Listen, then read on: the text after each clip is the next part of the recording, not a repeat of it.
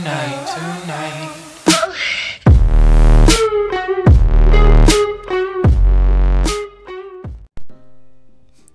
Alright, so in today's video I'm going to be showing you a glitch that I found on um, Border.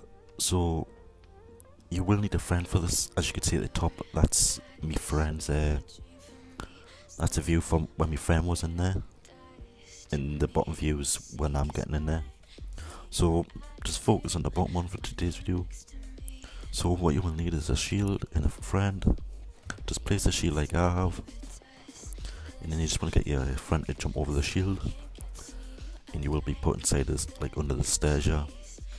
what you could do you can actually use this like a hiding spot when you're playing casual you can't shoot out and you can be shot inside of this as well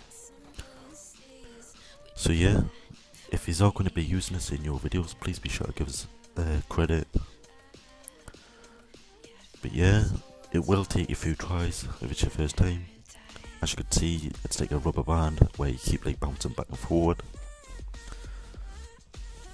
So I try moving, I get put back into the railings there. But yeah, if you've enjoyed today's video, please be sure to leave a like, comment and subscribe if not already. Other than that, I'll see you all in the next video. You dream for me some?